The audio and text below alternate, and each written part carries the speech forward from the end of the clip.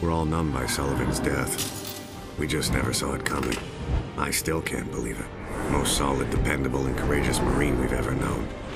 Blink of an eye. Gone. Now it's down to me. And me alone.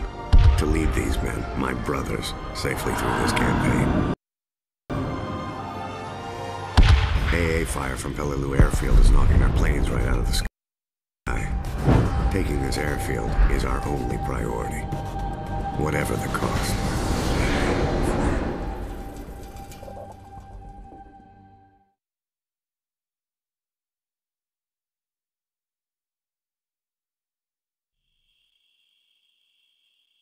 Arrangements are being made to take his body back to the States. I thought Sullivan would make it through for sure. We let our guard down, Polonsky. We can't let it happen again.